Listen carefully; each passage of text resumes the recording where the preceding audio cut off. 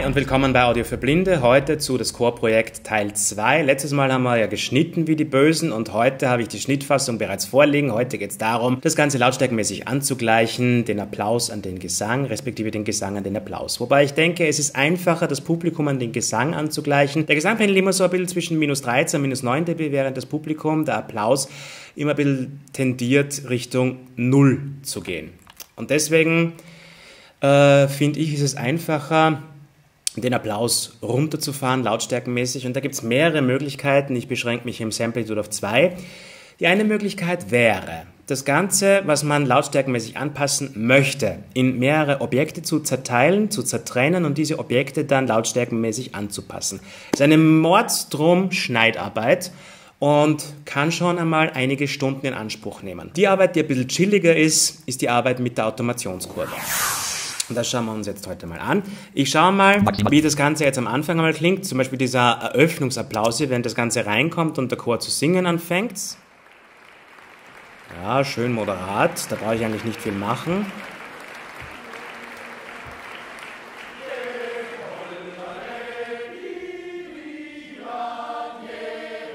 Es sei denn, es kommt einem so vor, dass der Applaus des Publikums schon am Anfang ein bisschen lauter ist als der Gesang vom Chor.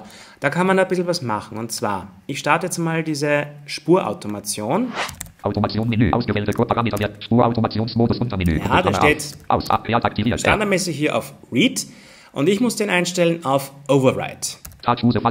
T. Ja, Use Fader Touch on Off, das wird nur dann Sinn machen, wenn man einen Hardware-Controller zur Verfügung hätte. Den habe ich nicht. Das gleiche bei Latch. Wir brauchen PC-Cursor. Und im Mixer kann ich jetzt hergehen und die Lautstärkenkurve manuell so zeichnen, wie ich sie haben möchte. Sobald ich den Automationsmodus wieder zurückstelle auf Read, wird sich der Lautstärkenregler so verhalten, wie ich die Kurve gezeichnet habe. Okay, Legen wir gleich mal los. Ich starte den Mixer. Und fahre das Band ab. Sobald das läuft, ziehe ich das Volumen um 3 runter und wenn gejodelt wird, fahre ich das Volumen wieder rauf Richtung 0. So, 1, 2, 3. Applaus kommt rein. Gleich wird gejodelt und ich fahre zurück.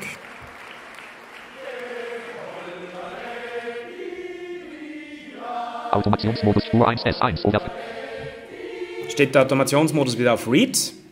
Schauen wir uns das gleich noch einmal an. Was tut die Kurve jetzt? Ich brauche gar nichts mehr machen, das macht die Kurve jetzt alleine. Geht runter auf minus 3 dB. Solange applaudiert wird, gleich wird gejodelt und die Kurve fährt nach oben. Sehr schön. Jetzt gehe ich ins Hauptfenster, da kann ich nämlich den Pegel auch ablesen. Vorher war der auf der linken Seite auf minus 9. Ja. Jetzt ist es auf minus 12.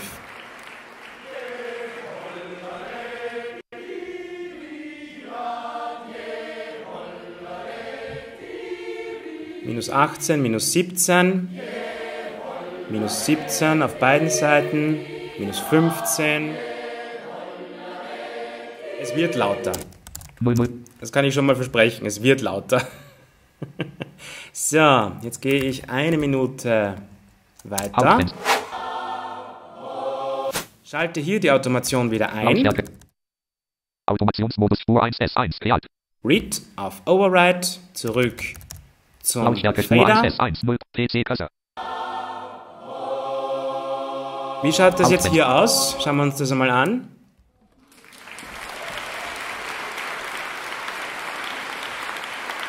Minus 4, minus 5, minus 3, minus 5. Also da muss ich jetzt was machen. Okay, gut. Ähm, ich bewege das Ganze mal runter auf minus 8, sobald der Jodler fertig ist und sobald applaudiert wird.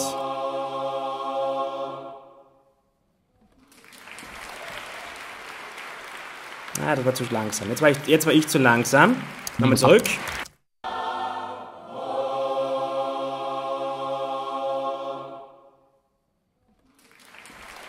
So ist gut.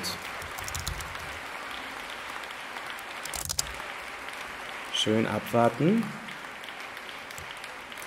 Und wenn er spricht, dann kann ich sogar ein bisschen über die Null drüber gehen, also in den Plusbereich.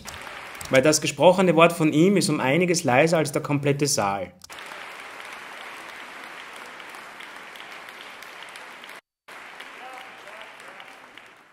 So, und hier kann ich starten, dann schon langsam wieder nach oben zu gehen. Ist das nicht eine unglaubliche Musik? So wenige Töne, so strotzend voll mit Lebensluft. Ist es nicht?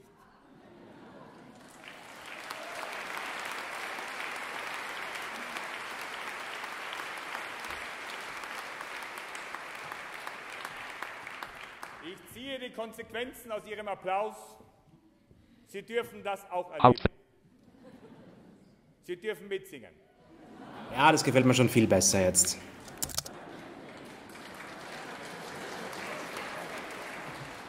Sind Sie bereit? Sind Sie bereit?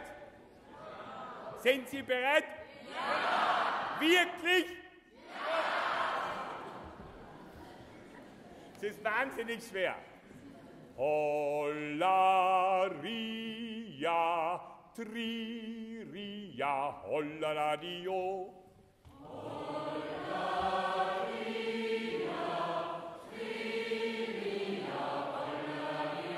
Ein wahnsinnig schwerer Text. Hollaradio, nachsprechen. Mit viel Lippe. Hollaradio. Holl und. Hollaria,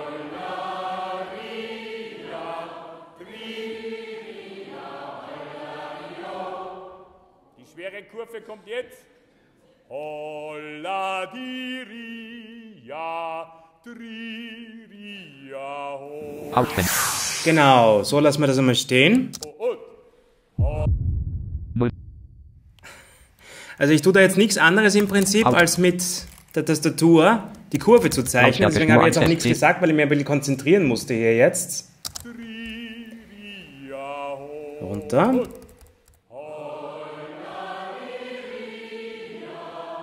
Ich pendel da jetzt her, hin und her zwischen 0 und minus 6 dB, für die, die es jetzt nicht sehen können.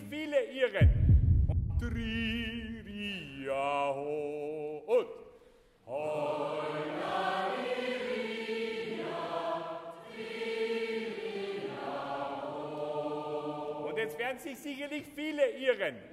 Ah, das wird lauter.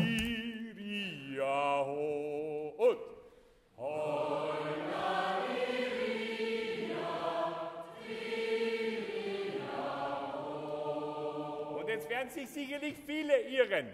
Und zwar beim ersten Mal schon singen Holladi. Nein, Hollari. Ich zeige einen Dreiklang, ja? Los geht's, Anfang. Auswendig. Sehr schön.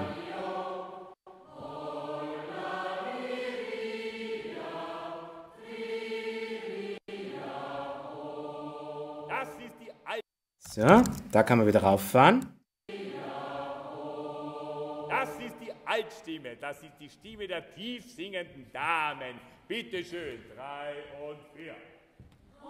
Ja, da muss ich nicht so weit runter. Super. Das können wir schon. Die Damen vom Sopran dürfen oben, oben zu Lautstärke PC. Aha. Ja, da könnte es jetzt ein bisschen laut werden. So. Out. Laut P. Oben zubiterzeln. Und. Los geht's.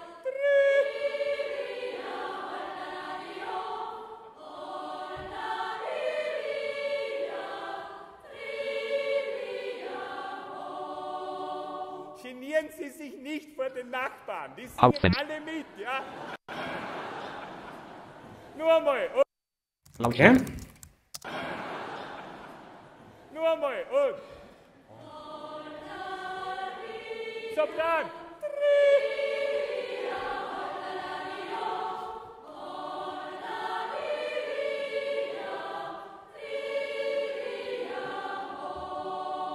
Die einzig schwierige Stimme ist der Tenor.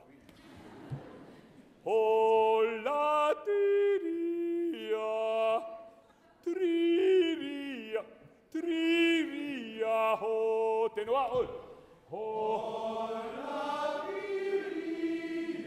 Ja, die haben nicht so viel Kraft. Hauptfeld. Wer wollte immer schon Tenor sein? Bitte aufzeigen. Und Okay, immer wenn er ruft, muss ich aufpassen. wer wollte immer schon Tenor sein? Bitte aufzeigen. Und Ho.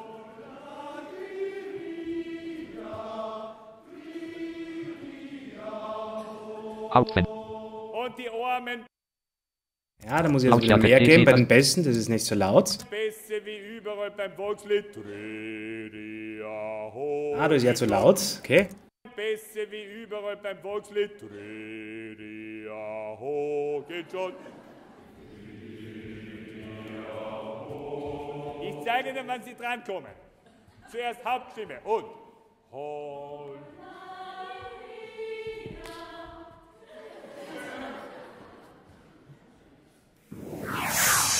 Zur Erklärung für die nicht sehenden Zuschauer, es schießt die Kurve da ein bisschen nach oben jetzt da. Minus 7 auf der linken, minus 8 auf der rechten.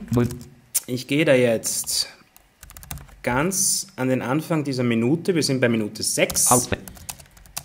Aus. Ähm. PC. Lautstärke, Lautstärke Spur 1 S1. Genau, fader mal Out. kurz auf 0. 3 und 4. Ah, das ist ein guter Einstieg. Sehr gut. 3 und 4. PC-Kasse.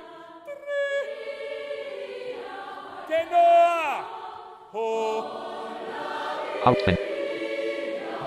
Ah, Lautstärke fällt mir noch nicht so ganz.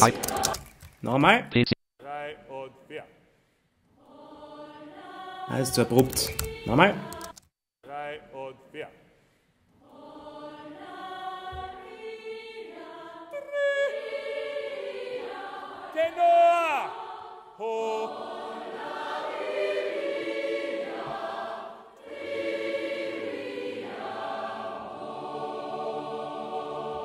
Ist unglaublich. Zwischenapplaus für Sie.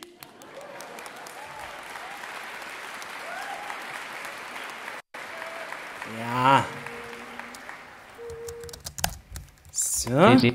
Das eine Lied machen wir noch und dann beende ich das einmal fürs Erste.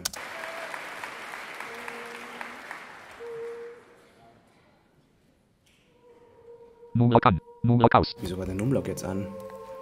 Nochmal zurück.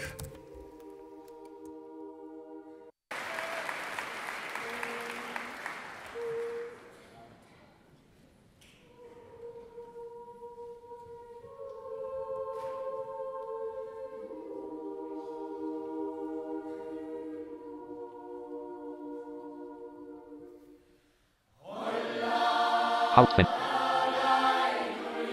Sehr schön.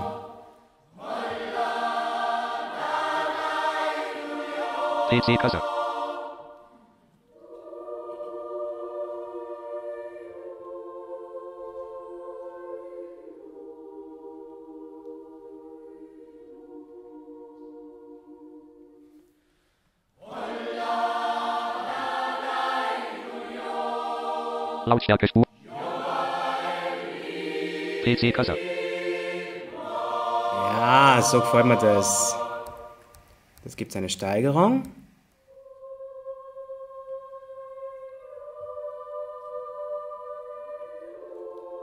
So.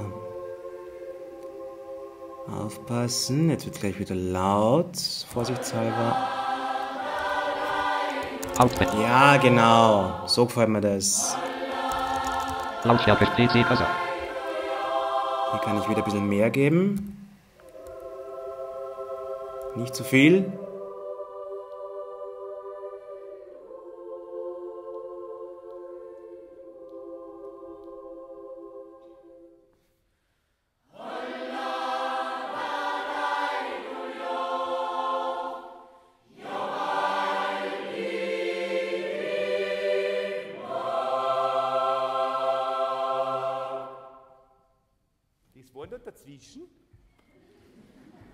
Damit Sie sich erholen können. Aha, das war zu laut. Okay, 00. zurück. Haupt. Damit Sie Noch ein bisschen. Lautstärke PC Kasse. Das war nur dazwischen, damit Sie sich erholen können. Und hier beenden wir das einmal. Ich schalte die Automationscode wieder aus. So. Also wie gesagt, ich könnte es mal auch anders lösen, das Ganze, nämlich mit den Objekten, aber das ist Fummelarbeit, das ist gewaltige Schneidarbeit. So habe ich früher angefangen, das Ganze in unzählige Objekte zu zerlegen und diese Objekte lautstärkenmäßig anzupassen. Ja, schön und gut, es erfüllt auch irgendwie seinen Zweck. Aber das mache ich nur, wenn es ganz wilde, ganz arge Schnipsel sind, die man mit der Automation sonst nicht bändigen könnte, wo die Automation auch ein bisschen an ihre Grenzen stößt. Dabei helfe ich mir schon mit kleineren Objekttrennungsaufgaben, aber ich mache das nicht mehr permanent über das ganze Projekt, denn die Objekttrennung hat einen unangenehmen Nachteil. Je mehr Objekte man hat und je mehr zerschnitten das Ganze wird, umso träger wird mit der Zeit das Projekt. Schön und gut, beim leistungsstarken Computer wird das nicht so unangenehm auffallen. Je mehr Objekte getrennt sind und äh, je mehr Schnipsel das Ganze hat, äh, wird das Ganze irgendwann einmal langsamer, das Ganze wird ein bisschen träger und es wirkt sich dann auch ein bisschen auf die äh, Dateigröße von der VIP-Datei aus. Also äh, ich hatte mal ein Projekt, das ging über drei Stunden, das musste ich dann eh schon in zwei Set-Hälften zerlegen. Und äh, am Ende des Tages, wie ich mal mit dem Ganzen fertig war, habe ich mir das einmal angeschaut. Das eine Set hat eine Dateigröße von knapp 2 Megabyte, nur die VIP-Datei, also nur die Datei, wo die ganzen Informationen drinnen sind. Und der Hauptanteil der Informationen war einfach hier ist ein Objekt zerschnitten, da ist ein Objekt zerschnitten, da sind im Objekt Effekte drinnen. Und das andere Set hat dann eine Größe gehabt von zwischen 800 Kilobyte und 1,2 Megabyte. Nur das VIP. Das ist ein Wahnsinn. Die ganzen Dateien, die im Projekt drinnen waren, noch nicht mitgerechnet. Es ist dann irgendwann einmal beim nicht so leistungsstarken Computer wie den, den ich damals hatte, ist es irgendwann auch nicht mehr lustig zu arbeiten. Vor allem, äh, wenn Samplitude dann anfängt, aufgrund der hohen VIP-Größe JAWS auszubremsen. Das kann nämlich auch vorkommen. Aber seit ich die neuen Computer habe, äh, die schon ein bisschen leistungsstärker sind, äh, ist das eigentlich schon so gut wie gar nicht mehr vorgekommen. Aber bei diesem alten Laptop, wo ein Samplitude Pro X1 noch drauf war und äh, wo der Laptop selbst aus dem Jahr 2010 war damals noch, äh, i5-Prozessor, also der schon ein bisschen an seine äh, Leistungsgrenzen getrieben worden ist damals, äh, da ist schon mal vorgekommen, dass das eine Programm, nämlich Samplitude, gesagt hat, du komm, diesen Screenreader, dieses JAWS, das brauche ich jetzt nicht dringend, obwohl ich damit arbeiten hätte müssen, den schmeißen wir raus, den kicken wir irgendwie. Und das ist durchaus möglich bei gröberen Arbeitsschritten, dass der Screenreader doch irgendwann einmal gekippt wird. Kann vorkommen, ist aber heutzutage bei den neueren Computern wirklich die Seltenheit geworden. Ja, das waren jetzt einmal die drei Sachen. Ich mache jetzt noch ein bisschen weiter mit der Automation, damit das auch ein bisschen Hand und Fuß hat und ja, dann kommen eh schon die üblichen Schritte wie eine Gesamtlautstärke ermitteln, mit der man leben kann. Dann geht es eigentlich eh schon mehr oder weniger in Richtung Finalisierung des CD-Projekts.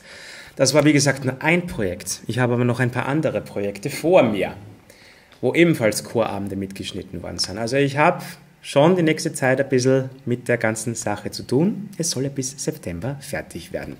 Sollte euch dieses Video gefallen haben, würde ich mich natürlich freuen über einen Daumen nach oben, über einen Like, Lob, Kritik, Anregungen oder Beschwerden sind mir natürlich auch sehr herzlich willkommen. Ich lese das auch und gebe auch meinen Senf dazu. Schreibt mir das auch unten in die Kommentarbox unterhalb der Videobeschreibung. Solltet ihr den Kanal noch nicht abonniert haben, ich freue mich über jede neue Abonnentin, jeden neuen Abonnenten. Lasst mir gerne ein Abo da und wenn ihr kein Video mehr wie dieses verpassen wollt, ihr wisst eh, Glocke aktivieren und den Reiter auf alle stellen, denn dann geht euch kein Video mehr, das hier neu hochgeladen wird und hier neu erscheint. Wir sehen uns das nächste Mal wieder, dann hoffentlich auch wieder zu einem spannenden Thema. Bis dahin macht es gut, genießt den Sommer. Ciao, euer Patrick.